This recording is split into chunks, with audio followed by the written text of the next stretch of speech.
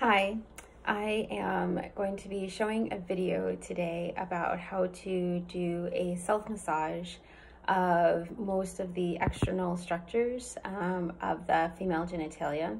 Um, so here I have a pelvic model.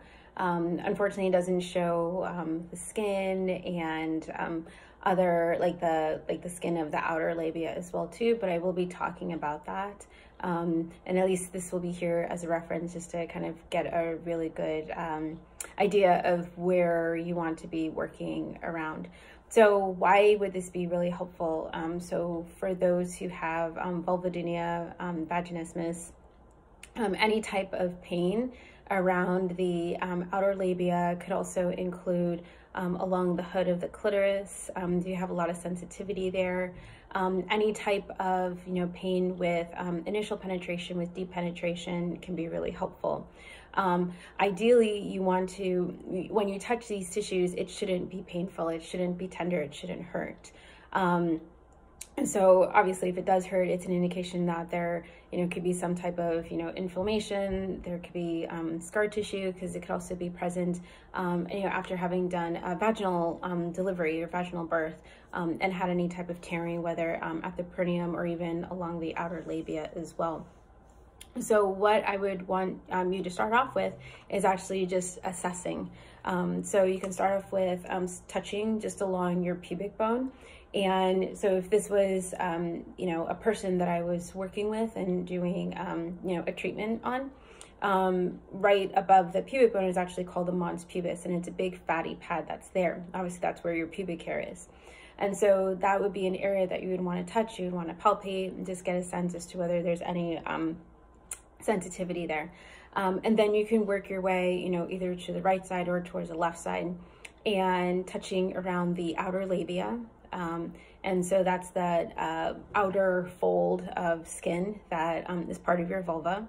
Um, you do that on either side. So you can either just like press in that area, um, or you can actually use your thumb and your index finger and you can actually, you know, squeeze and just get a sense as to any sensitivity, if there's any tension in any of the tissues or rigidity, it should be nice and supple and soft.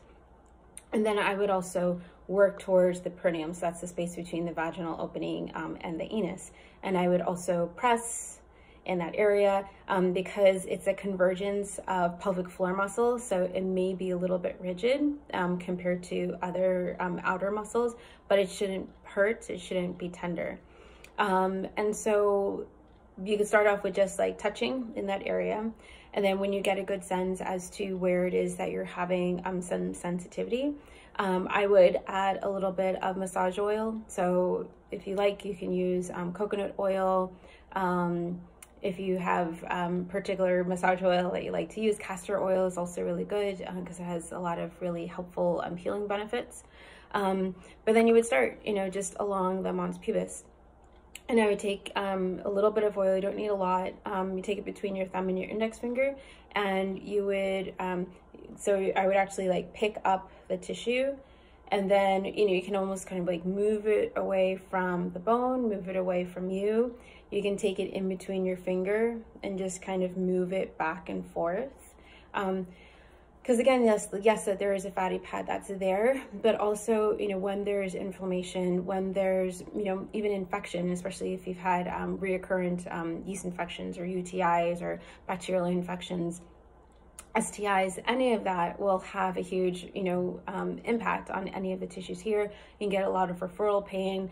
Um, you know, long-term irritation of those tissues can also create, um, obviously there's going to be inflammation there. That's going to create um, uh, what they call like a viscerosomatic reflex where you're going to get like granulation of the tissue. It's going to feel like really sticky because um, a lot of the, what we're working on is a lot of the fascia and fascia should be nice and slippery and slide and um, gooey and when there's inflammation that can create adhesions. And that tissue that you're feeling you know whether it's along the mons pubis along the perineum the outer labia the inner labia the vestibule the space between the outer and the inner labia um, if it feels like sticky if it feels granular if you feel like knots in there even if it just hurts um, not a good sign.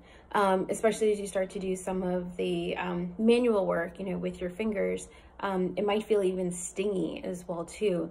And all of that will dissipate over time. Um, like even just like within the first, you know, three minutes of doing this manual work or this massage, that will dissipate over time. Um, so we would want to start along the mons pubis. You can even do circular motion. So if you feel like lifting up the tissue is just too much or too intense, just doing circular motion. You can even press into one particular spot and then just kind of glide the tissue, whether horizontally, vertically, diagonally, move it in different directions because you want to make sure that you're um, accessing those tissues in lots of different planes rather than in just one particular motion. Um, and so that is um, what you would do in order to do some self-massage, um, some self-care, you know, around the um, external genitalia, around the outer labia, the mons pubis, along the perineum. Um, if you want more specific um, information about how to do, um, you know, some of this work internally, especially if you have pain with um, deep penetration, you know, with um, intercourse or any type of insertion, um, then you can go to my website, uh, selfcarephysio.com. I do offer a free PDF on how to do a uh, self-assessment vaginally, doing a vaginal self-assessment on yourself. Um, and then obviously if you wanted even more details, then definitely feel free to reach out um, with more questions. But I'm hoping that this was at least a good uh, introduction into how to do um, this type of massage. Um, I think we hear a lot about um, taking care of this particular area and usually we rely on either our partner or our doctors you know to kind of tell us what's wrong or to you know treat it and i think it's something that we should be able to have um, tools, you know, in our own hands, literally our own hands, to be able to um, address any type of dysfunction or things that are going on in that area. Or even just like as a check-in, you should know what is going on with your body, um, have a good idea of like where it is that it's feeling um, painful or where you're getting discomfort, just so that way then you're able to take that information to your healthcare provider and be able to get, um, you know, better answers and get better care as well too.